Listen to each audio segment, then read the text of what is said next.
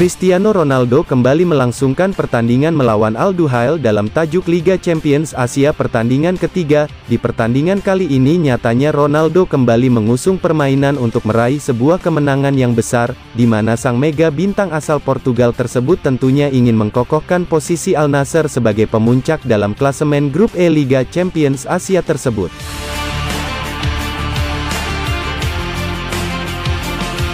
Kendati demikian berbicara mengenai pertandingan melawan tim asal Qatar tersebut, di pertandingan itu sang mega bintang ditempatkan dalam posisi yang sama persis dengan laga-laga sebelumnya.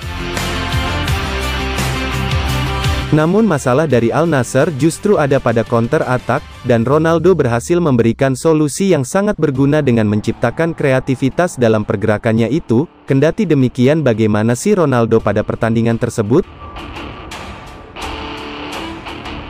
Ronaldo pada pertandingan melawan Al Duhail tersebut bermain dengan sangat apik sekali, walaupun dalam beberapa momen Ronaldo sempat mengalami kesulitan dalam pergerakannya itu dikarenakan penjagaan ketat dari pemain bertahan lawan.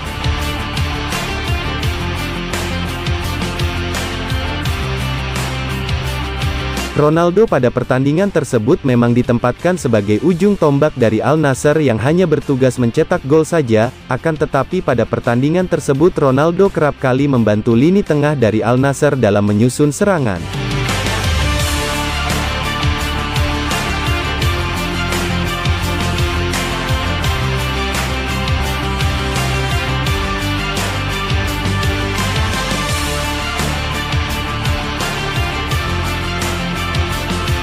Nah pada pertandingan tersebut pun Ronaldo kembali berhasil memberikan kontribusi yang sangat berguna sekali bagi Al Nassr, sehingga Ronaldo kembali berhasil mencatatkan namanya di papan skor pada pertandingan tersebut dan tentunya menambah pundi-pundi gol, khususnya dalam kompetisi Liga Champions Asia tersebut.